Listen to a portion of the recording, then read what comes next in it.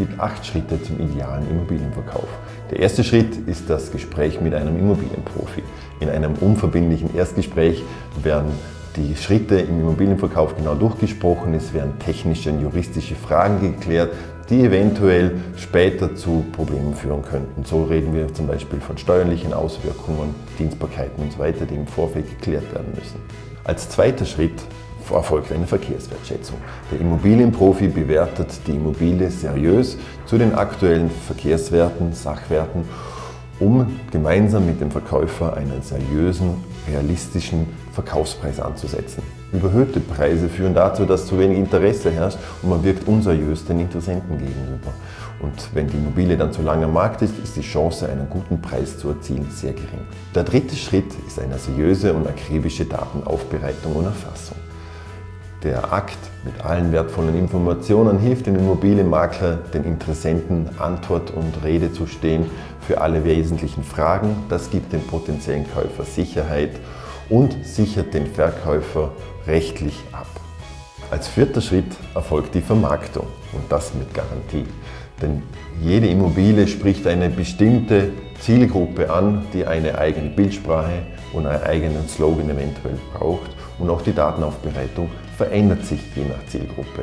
Der Immobilienmakler kennt die Zielgruppen genau und spricht diese mit der richtigen Sprache an und so wird eine individuelle Vermarktungsstrategie für jede einzelne Immobilie entwickelt. Als fünfter Schritt geht es um die Interessentenbearbeitung.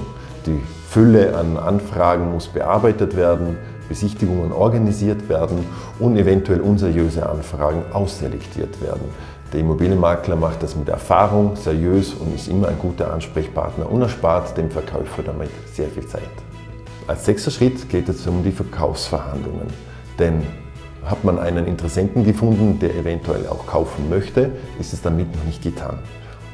Die Vereinbarungen müssen festgehalten werden in einem Kaufangebot. Eventuell muss noch eine Unterstützung erfolgen, um die Finanzierung zu organisieren.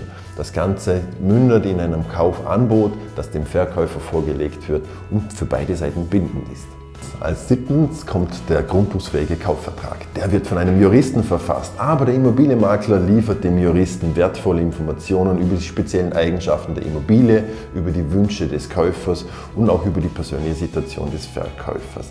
Das sichert alle Parteien ideal ab. Er begleitet die Termine und organisiert diese auch. Als achter Schritt erfolgt die Übergabe. Ein erfreuliches Ereignis, das aber auch kontrolliert und organisiert sein will.